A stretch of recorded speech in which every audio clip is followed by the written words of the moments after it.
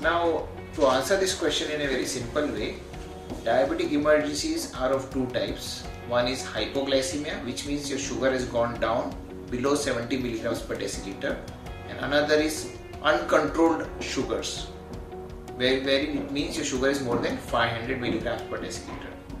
Now, as far as hypoglycemia is concerned, it presents itself with trembling, confusional state, lots of perspiration, uh, abnormal behavior by the patient.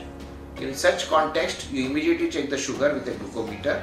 If it is less than 70 milligrams per deciliter, you start treating the patient at home before rushing the patient to the hospital. As far as treatment is concerned, give him sugar. How much sugar you going to give him? Give one tablespoon of sugar, give one tablespoon of honey, or give one glass of juice. It will instantaneously raise the blood sugar values and the patient will start behaving normally. Here, after 15 minutes, again check the sugar and if it's again less than 70, repeat the same process. Once you stabilize the sugar and the patient is fine, you check the sugar every 1 or 2 hours just to confirm that the sugars are within normal limits. So this is how you treat diabetic hypoglycemia. Another complication is diabetic hyperglycemia where your sugars are extremely high. In this context, you cannot treat it at home. You need to visit your nearest endocrinologist or a diabetologist or your nearest treating physician. He'll adjust the doses of insulin or the oral drugs what you are taking for diabetes. You need to treat it on time because a diabetes which is extremely high can lead to a lot of complications like kidney failure, heart disease, strokes and so on and so forth. So do not take it lightly. Treat it on time and treat it properly.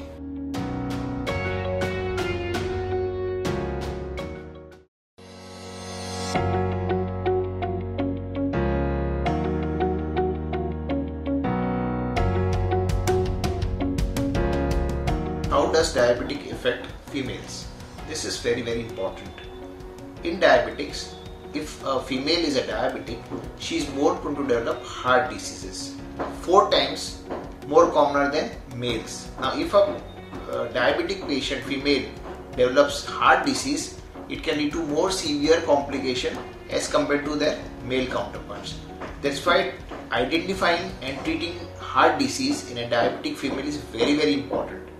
Secondly, a diabetic can have effect a profound effect on a pregnant lady. If a diabetic patient becomes pregnant, we have to manage the sugars very well to prevent any labor related or post labor complications. Thirdly, there is some term known as gestational diabetes mellitus, which means a lady is diagnosed with diabetes during her pregnancy. Now, gestational diabetes has to be treated with insulins and medications, otherwise, they can have complications in the baby. The baby can be delivered preterm, a baby can be large, there will be more chance of getting a cesarean section done in a diabetic patient.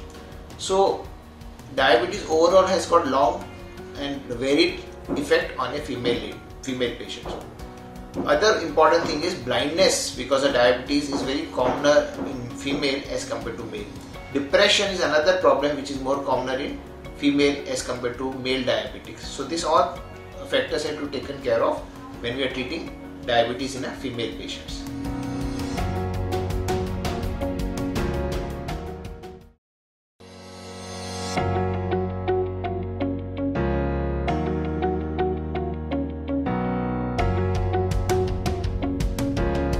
Role of medical adherence in treatment of diabetes mellitus. Now this is very very important. If a diabetic patient doesn't take medicines on time, he can develop, he or she can develop long-term complications and lots and lots of problems. So I, whenever I see a patient diabetic, I see to it that I hammer it into the patient's brain that taking the medicine on time is very very important. There are a lot of barriers why a patient is not adherent to a treatment schedule. First important barrier is laziness and non-awareness of importance of taking the medicines on time. So I hammer it to them that they have to take the medicine on time, same time, same every day on the same time. Second, I try to try to teach them how to balance the medicine with meals. It's very important in diabetic patients. So they, I tell them how to take it 20 minutes before a major meal. Or most of the diabetic medications are given before meals. So I tell them how to take it before meals.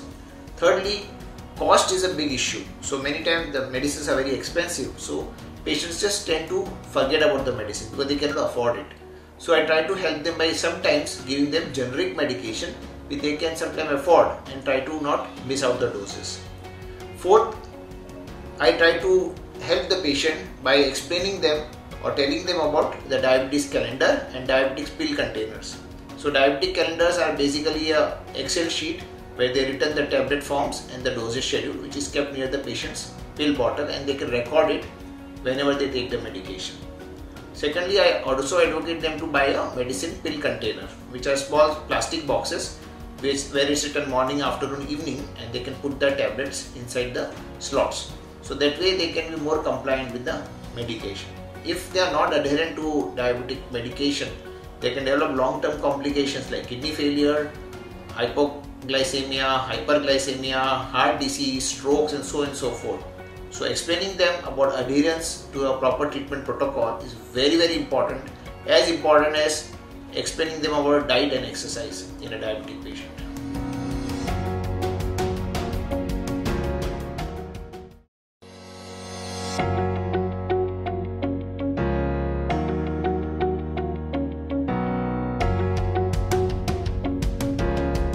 What should I eat? I am a diabetic.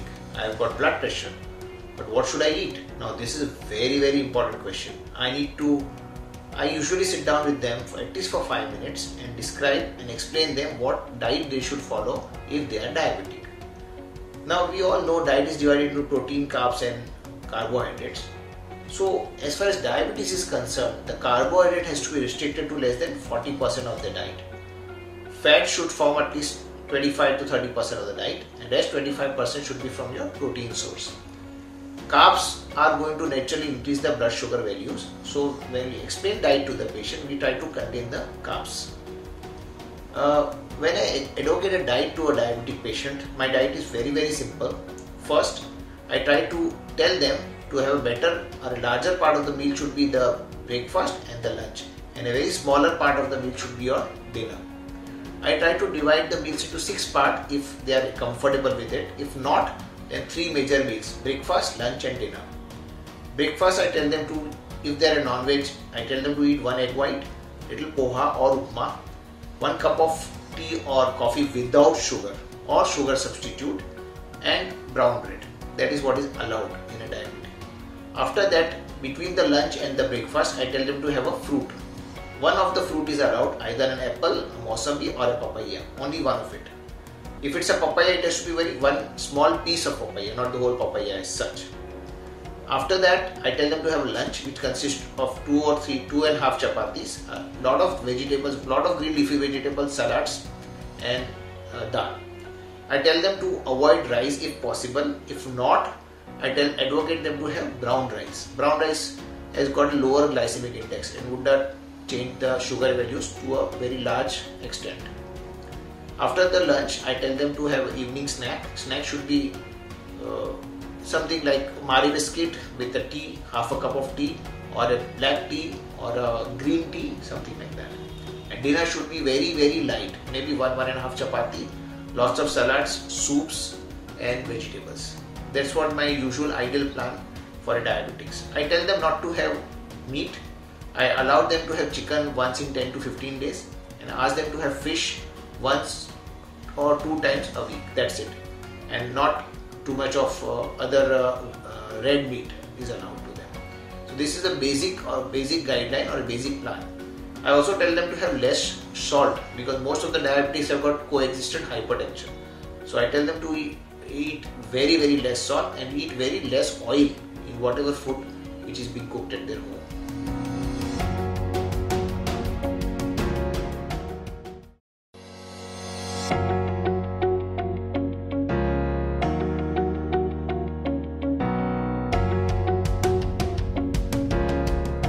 What is the relationship of diabetes and eye problem? It is very very important. Eye infection is very common in a diabetic patient who is not controlled. So first of all, I tell, tell my patient that you need to control your diabetes well. if you don't do it you are going to land up in complications eye related complications as per the statistics and data around the world almost 25 times a diabetic patient is more to uh, pro, pro to develop eye complications so controlling the sugar is the only mantra to prevent any eye complications. There are three eye complications which are common in a diabetic patient. First they develop retinopathy. Retina is a layer of eye eyeball which is inside the inner part of the eye which makes us uh, which allows us to see things. So if they develop retinopathy they develop blindness. They develop blurring vision. They cannot see properly. So to protect them from retinopathy they have to control the sugar perfectly second known complication of diabetes in eye is early cataract formation. Usually we all know cataracts happen when you are 60 60 plus. But in a diabetic patient cataracts can happen very early on maybe only also at the age of 45 50 so to prevent that they have to control their sugar. Third commonest complication of diabetes along with eye is glaucoma. Glaucoma is when the blood when the pressure inside the eye is elevated that is known as glaucoma. Glaucoma itself can lead to blindness. So controlling sugar is a very very important benchmark in preventing all the different eye complications in diabetic patients